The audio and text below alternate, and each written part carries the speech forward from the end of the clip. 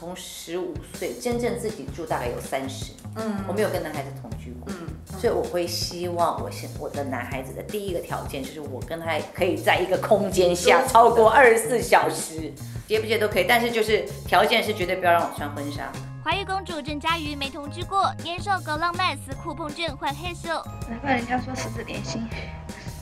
都痛到心脏。我从一开始出道就应人瞩目，因为那个时候呢，我拍电影跟苏有朋情色，就连导演都跟我说，哇，没有一个新人第二天版面都是半版或四分之一版，我就是很有这个运，你知道吗？然后后来就是以很高的价钱就进电视，就拍了一个叫《四千金》，对，那个才是大家就已经在注意我，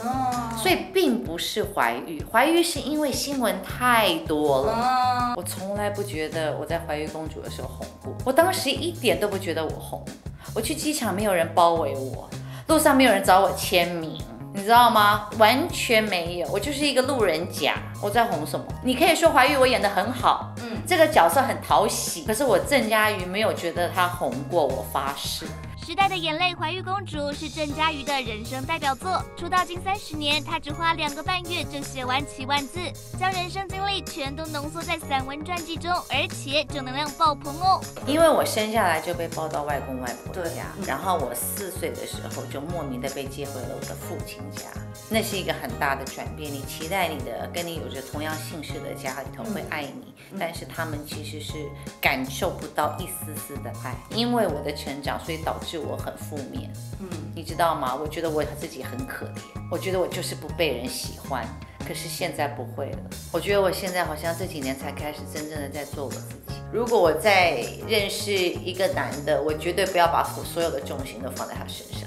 因为我一个人太久，嗯，所以我会希望我现我的男孩子的第一个条件就是我跟他可以在一个空间下超过二十四小时。有别人介绍给我，因为他不住台湾，然后来来台湾可能就会有一个晚上住我家，我我我快不能呼吸了，我就好不自在哦，我就很因为一个人过惯了，你知道吗？结不结都可以，但是就是条件是绝对不要让我穿婚纱，因为我拍的每一部戏都穿婚纱，从三十年代到古装到现代。全部都穿过婚纱，穷人家到有钱人家，我什么婚纱都穿过，我没有办法再穿婚纱了。因为你知道年纪大就会频尿，频尿你穿个婚纱怎么尿尿？那你本身就不浪漫，应该是是我喜欢给人家浪漫，我不喜欢人家给我浪漫。啊，这样讲好了，我很年轻的时候交男朋友，他回到家以前我都喜欢躲起来，我可能就会呃。做那个折价券 coupon，上面可能就会写说，今天你撕这张就是可以跟我嘿咻，嗯，今天你撕这张就是可以让我要求我做一个牛排。后来我不知道看到哪一个偶像剧学我耶，其实我的爱情很乏善可陈